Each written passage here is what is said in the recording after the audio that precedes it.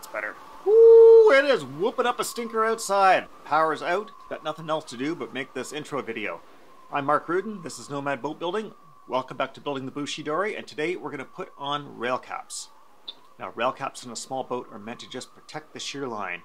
You can imagine when these boats are stacked on the deck of a schooner, they're going to get bashed up pretty good as you lower one boat into the other to stack them. In a traditional fishing boat that's working with nets, for instance, you could imagine you want a shear line without obstructions on there that the nets could get cut off on. That's where rail caps come into play. Let's get right down to it. All right, our shear line is all faired out. Today is the day that we're going to work on our cap rails. So I've got my door skin patterns already made up and they're laid on here. Now, it will take some wider stock in order to make these in two pieces, but I decided to do two pieces and join them right at the midships for a few reasons.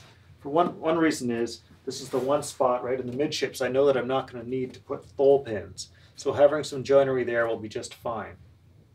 Another reason is because there's so much wind in this, so there's quite a bit of twist. When I go to steam bend these in place, I'm going to have an easier job twisting a long piece of material into place than I will doing a short piece of material.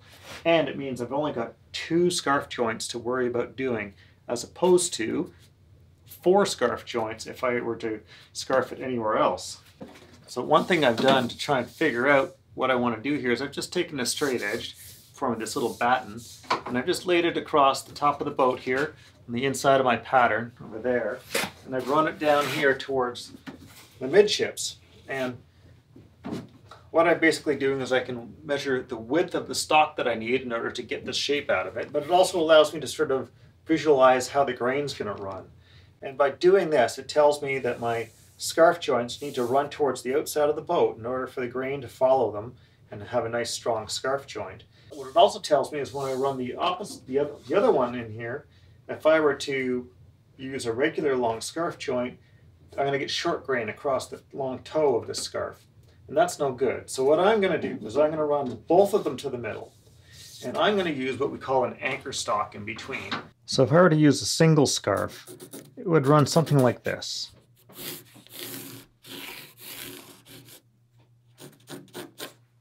And the piece on this side, all that grain's running along with the toe of the scarf. So that's plenty strong. That's great.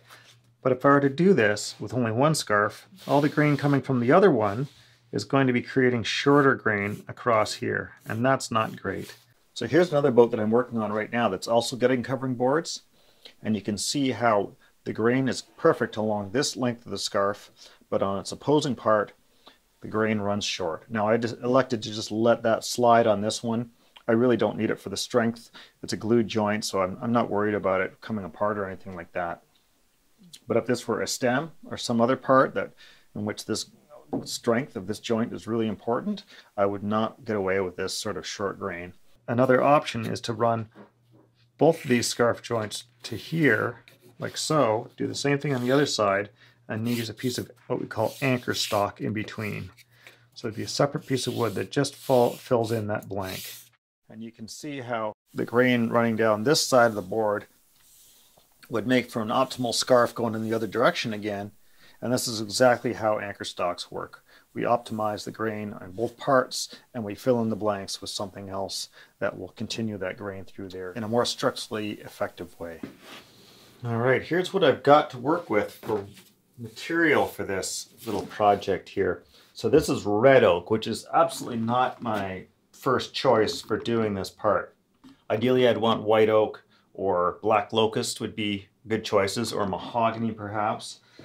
When I went down to my lumber yard, there was not a lot available in wide planks, and because of the amount of sweep here, I need quite a bit of width to get these out. All right, so I'm to do two things. I'm just going to do a nice tight tracing of these patterns.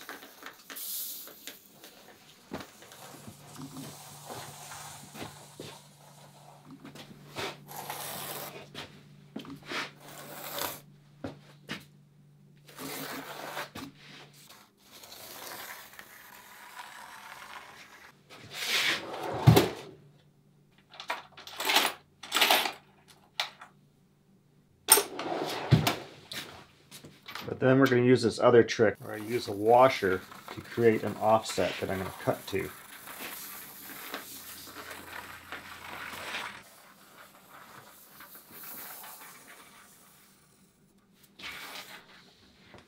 I think we're just going to start by roughing these into two pieces. Just want to give myself a line to follow here. We'll just split the line right down the middle.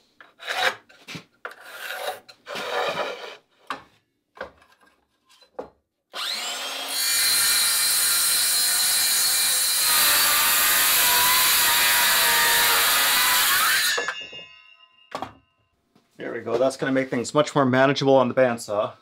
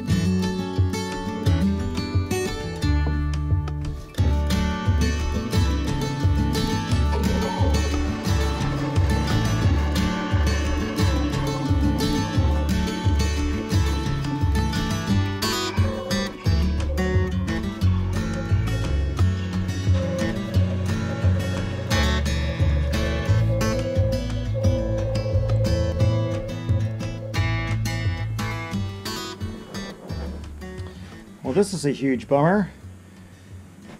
These have all got little roddy pockets in them. I can't use this stuff. Ah, damn. Bummer. Gotta scrap it.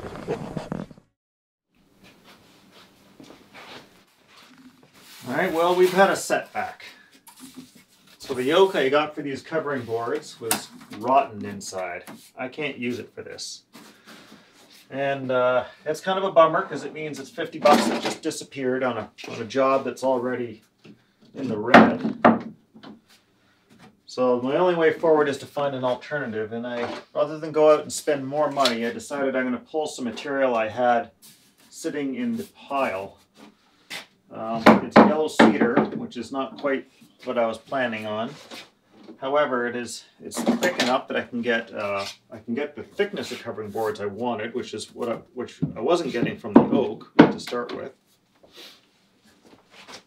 And um, it happens to be flat sawn, which isn't ideal, but that's not the end of the world, I think.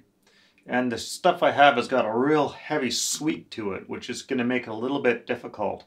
Um, it's not bad in that the sweep of the shear is not a problem, but uh, when I resaw it, one side obviously is going to be sweeping one way and the other side's going to be sweeping the other.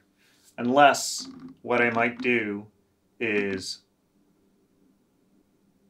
resaw each piece in order to deal with one side and then I can flip it around. I don't know.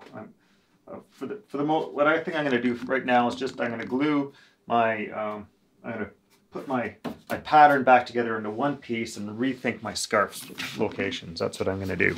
All right, after much debating, I've decided I need to do, I'm to do two flat scarves.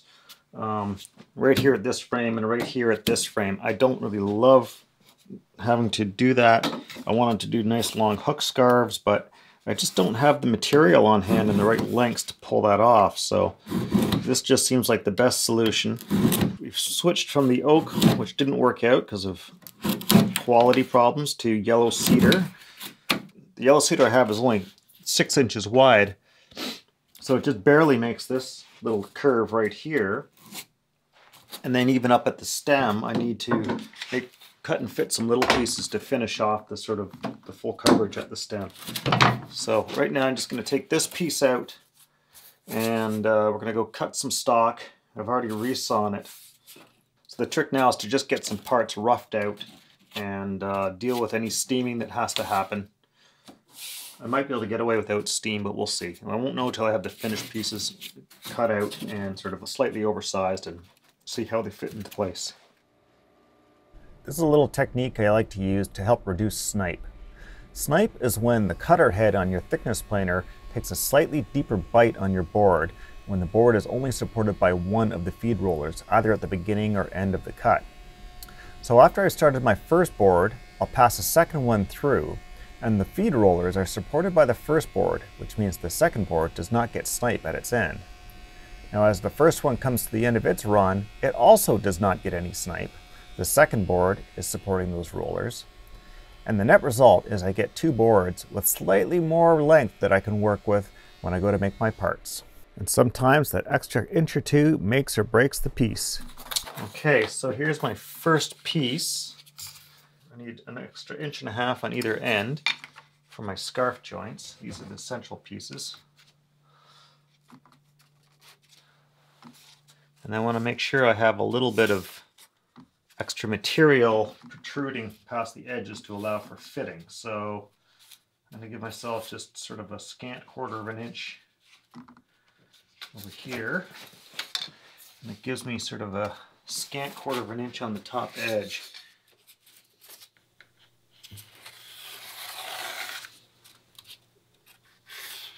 I'm just using this little extra piece of stock here as a um, uh, just as a convenient way to draw my the extra length that I need.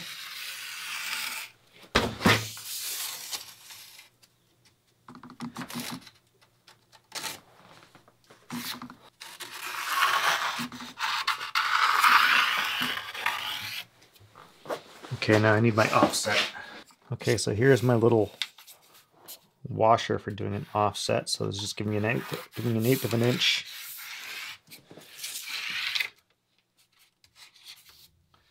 three sixteenths of an inch, something like that. Okay. I'm just going to mark this. This is my way of marking forward. Oh, I should probably... So there, I'm going to mark where the scarf has to run. Oop, I uh-huh, almost got that backwards.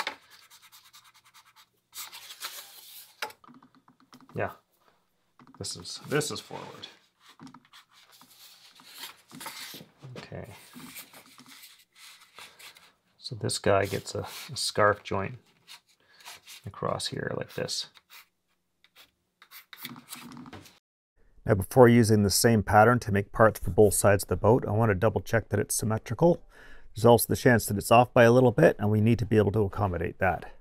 Okay, this forward piece is a little tricky. I can't get this corner into it no matter what I do. What I'm going to do is I'm just going to, I've marked off this little triangle piece, which we'll just build, we'll add to it later.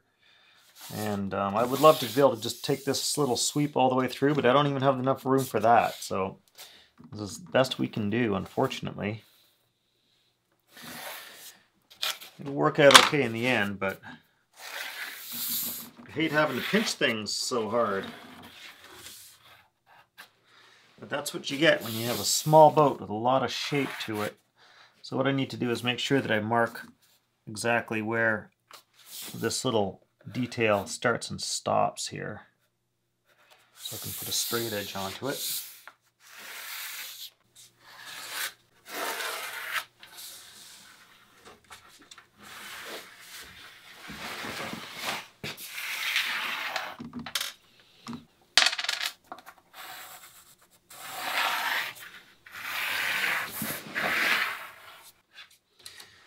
What I think I'm going to do actually up here is I'll probably even leave this little line long until I've until I've got everything set on the boat and then I can draw myself out a new center line. That would be the best way to go.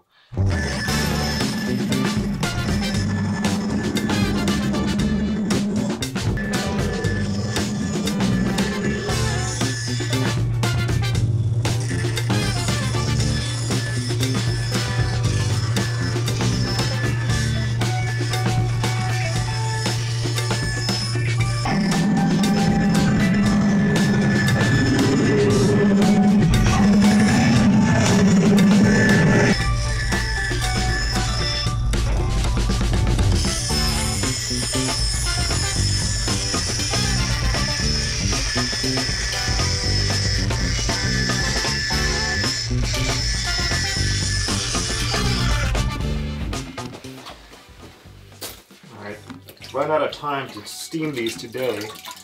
But these have been sitting in the shop for quite a few years now, these pieces of wood, so they're extremely dry. And uh, while they would probably steam just fine, I decided since I can't steam till tomorrow anyway, I've got tonight to try and get some moisture into them. So what I'm going to do is I'm just giving them a good mop down. Let's just get the other end of these. Just mopping them down with some water, obviously.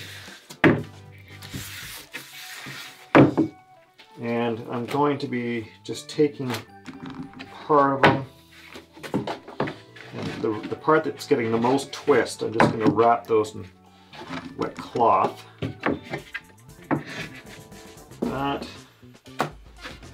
like that.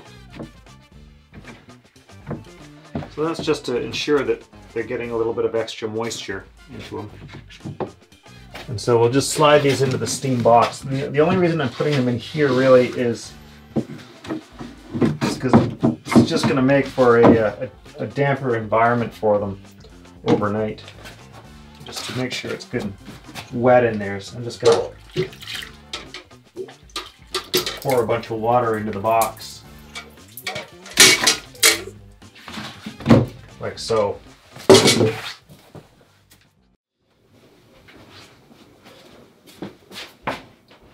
Now I know it doesn't look like there's enough shape here to warrant having to steam these in place, but I tell you there's a fair bit of twist right near the tail end here.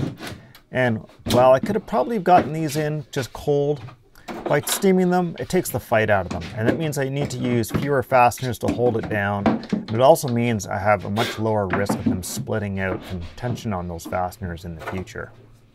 It really doesn't take me very long to get set up for steam, so I like to go ahead and use it whenever I feel it's warranted.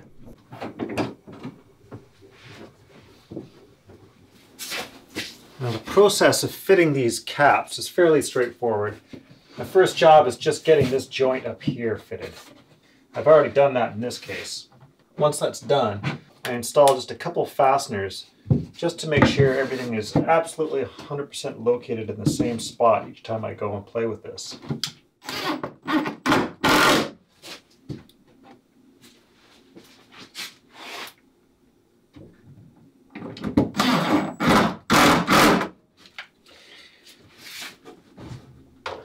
With it fastened in place, I can draw along the bottom of this and get my finished shape that my cap rails need to be, but I'm not going to bother cutting it right to that shape. I'm going to cut it just a little bit proud by a 16th of an inch. And what I'm going to do is I'm going to just finish the whole fitting process before I trim it down to the final width. So that part's been done. So the next thing I need to think about is fitting the next section. So this is my next section of rail. And what I'm going to do is I'm just going to give myself a nice clean cut down here where it's supposed to start. I'm going to do sort of a quick and dirty layup right here with a couple clamps just to sort of make sure that I've got the angle of it correct. We'll mark the scarf out.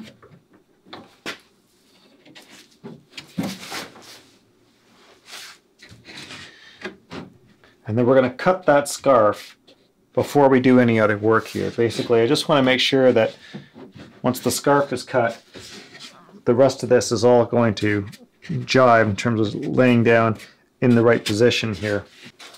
So this is fairly straightforward. I can simply go in here and actually just mark the edges of the scarf with a pencil from underneath.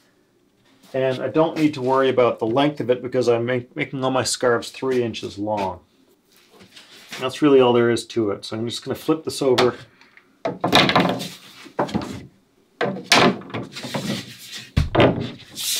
Here's my two marks.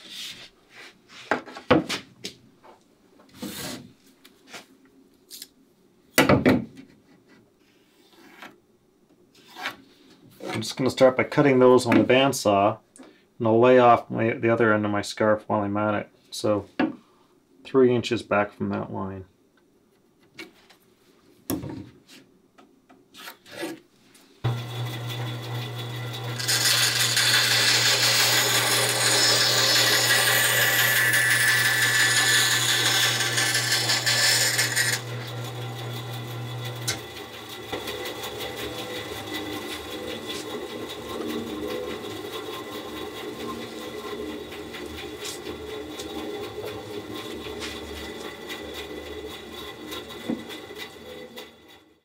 So I'm using this little router plane, drop the blade down to the depth of that lip, and then I can just use this like a marking gauge to mark that same depth onto here. Use a pencil just to darken up that line. And I'm going to just mark off where that scarf is going to land on the side of this. This is not a, this is really just a general reference line because I'm going to just use the bandsaw to get rid of the bulk of this material that I got to take off. And I wouldn't normally do that, but this particular batch of yellow cedar is very dense and uh, it's proving to just be kind of laborious to, to take it too much down by hand. I'm just going to use this block of wood just to help hold things in a perpendicular fashion.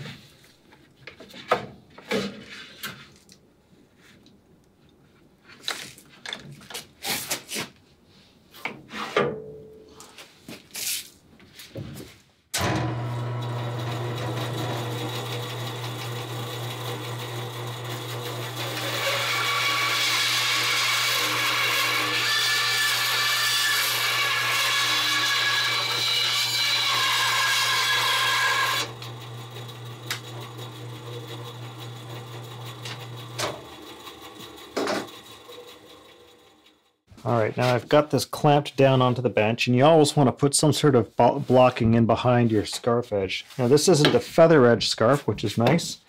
I'm just going to use my smoothing plane to do the bulk of this work here.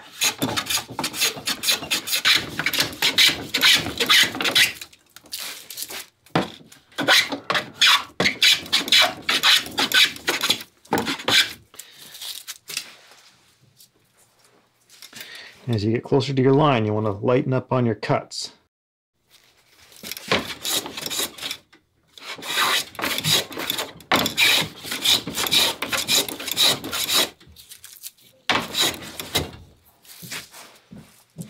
These are going to be glued scarves as well, so this uh,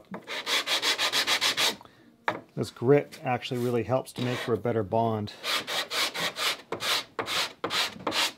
Okay, and that's all there is to it. Now we're just going to see how that fits the other end.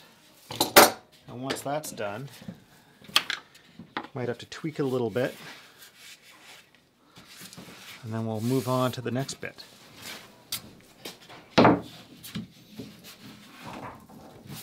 That looks pretty good. Now I didn't dress up that edge. Oh, that's going to look great. Okay, so I just need a couple strokes on this, this very edge here just to tighten it up.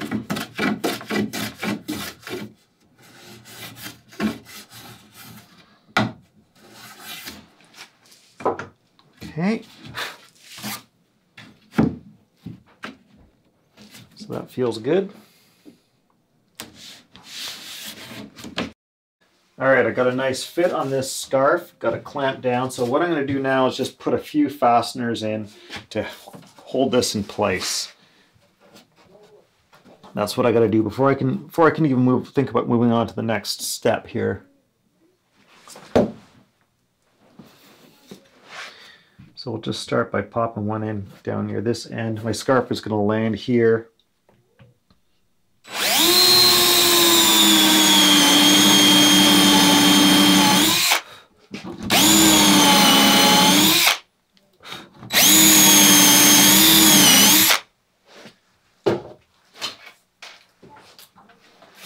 All right, and we're just using some short construction screws, the nice loose, nice loose thread on them.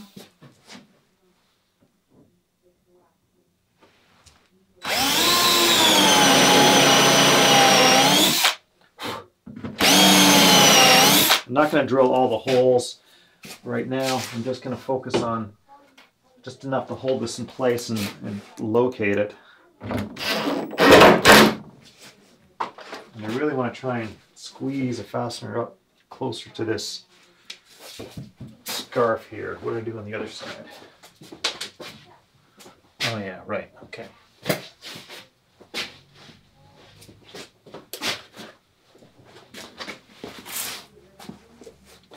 So I'm just going to mark out where I know my, my fasteners are going to go. And I can use one of those spots.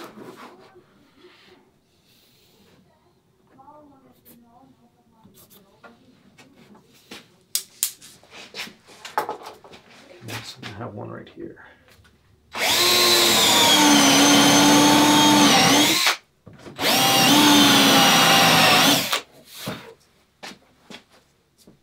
Okay, now that that's done, I'm just going to trace underneath.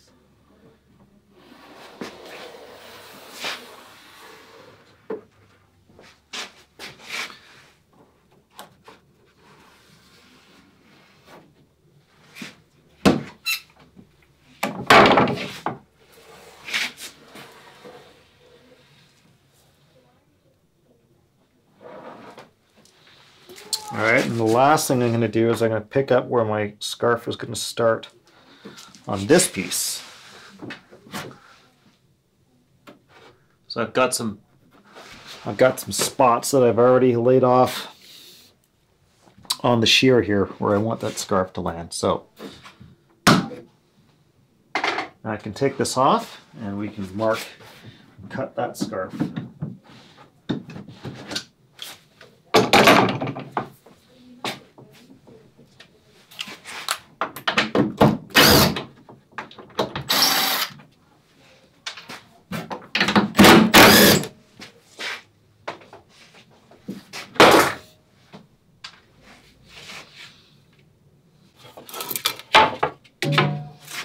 Okay, so just to get started here, I basically need these marks that I've created on the other side. I don't need it on this side.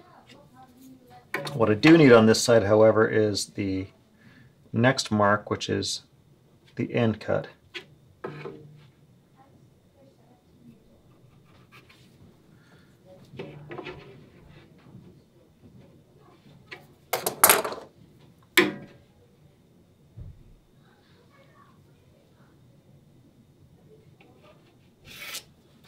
There we go.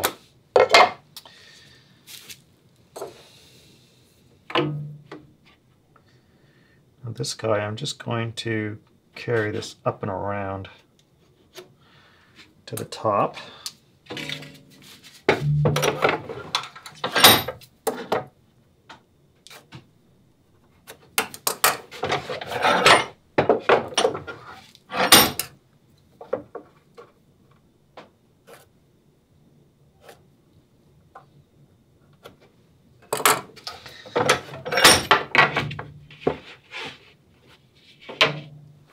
There we go, and so that's going to be the top of my hook scarf right there.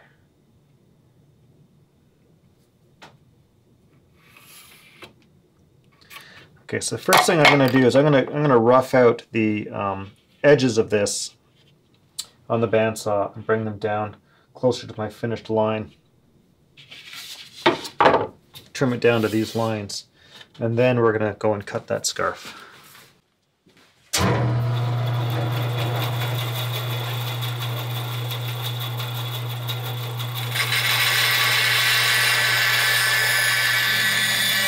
I want to thank all my subscribers for their ongoing support, their comments, their shares, and good wishes. And I also want to thank all of my followers on Patreon whose monthly pledges support this channel. If you can help us on Patreon, I would really appreciate it. There are links in the corner or down in the description.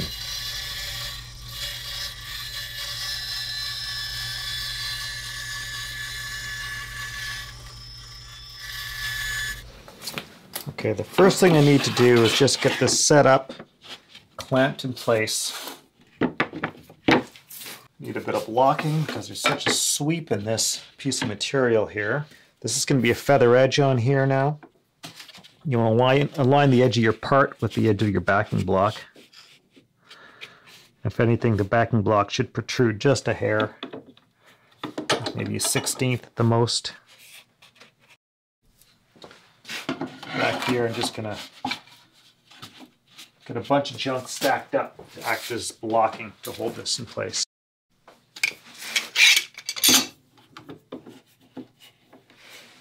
There we go. This is still, was floating a little bit high there, which isn't great. Try raising this up a little higher. Yeah, there we go.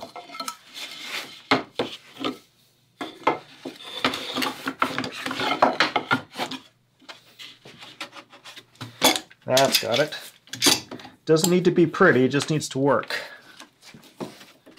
All right, now. My first job here is just to score along that line. So I'm going to use my square and a utility knife.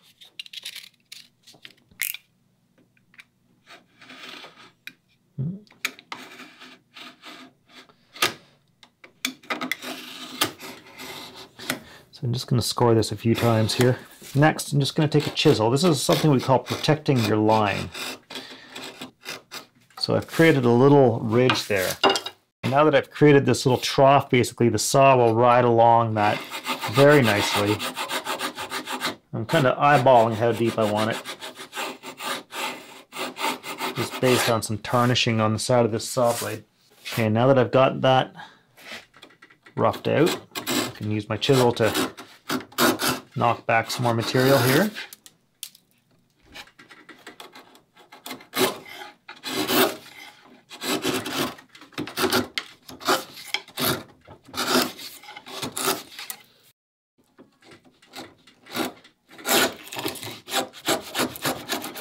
There we go. So that that's going to be the height of my lip. And now I just got to waste away the rest of the material here. And because this is sort of a pain to clamp up, to just do this all by hand here.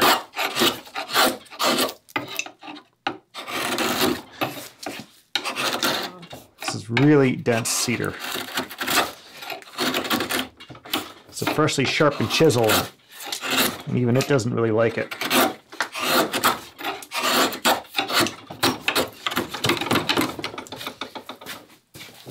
You know what we're to do? We're going to use the rabbet plane. The rabbet plane is actually a really effective tool for roughing things out sometimes.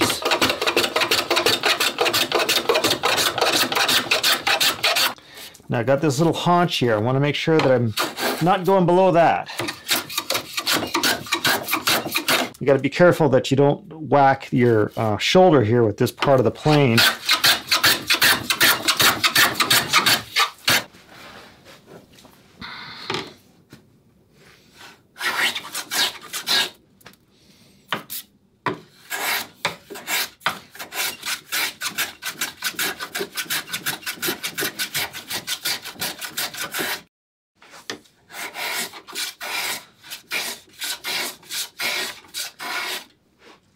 Now that's where you want to go real slow, really careful. I'm always just a little bit thinner on that corner for some reason.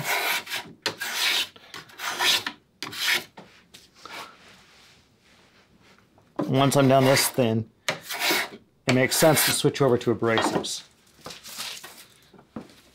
So again, we'll take our block. Okay, I can try tweaking the shoulder just a little bit with the sanding block. You want this to be undercut just a hair. That way you get a nice tight joint right at the surface and the undercut's going to fill with adhesive. Beautiful. Okay, this is ready to go back on the boat.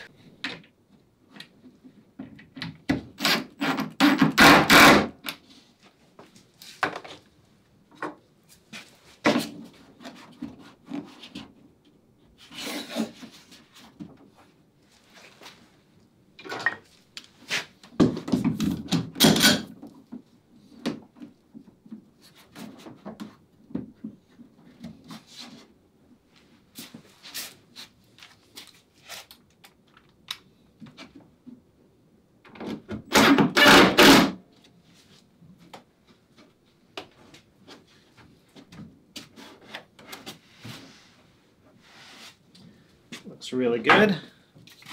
I'm just going to clamp this down a little harder.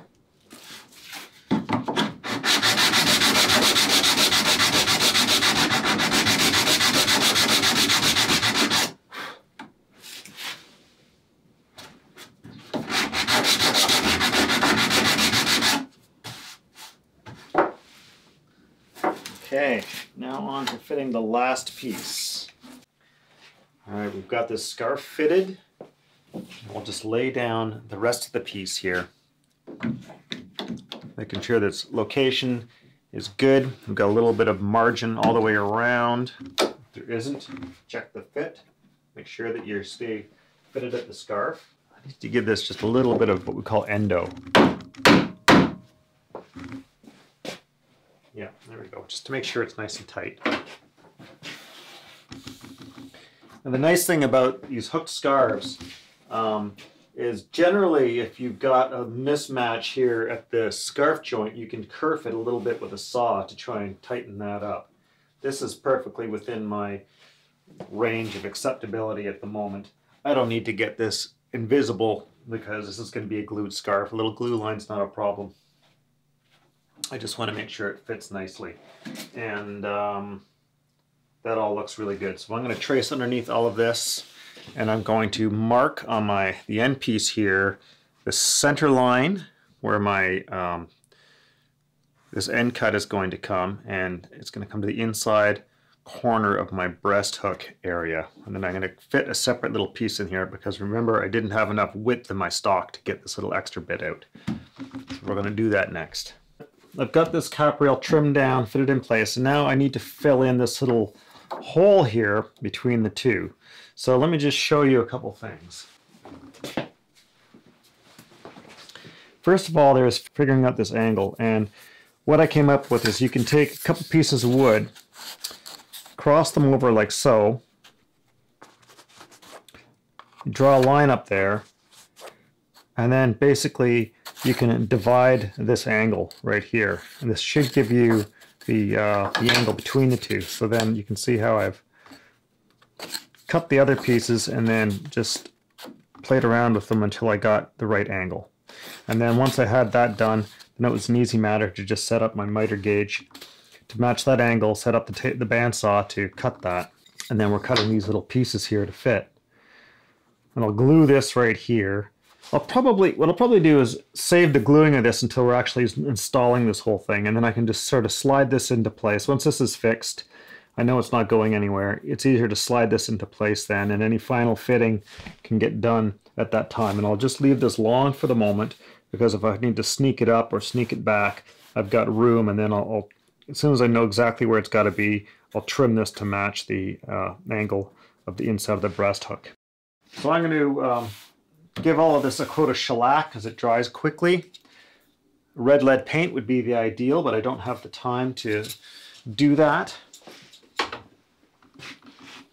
Shellac will do just fine. And we're going to take all these parts off, shellac the backs of them, shellac this surface, and then once that shellac is dry, we're going to bed this in place and we're going to use epoxy to glue all the scarves. All right, that's it for today, folks. I really hope you enjoyed that. Please join us again next time. Thank all of you for watching and thank everybody on Patreon who supports this channel. And if you can help us out there, please do. Links in the corner down in the description. All right, ciao for now, folks. We're going to go play banjo.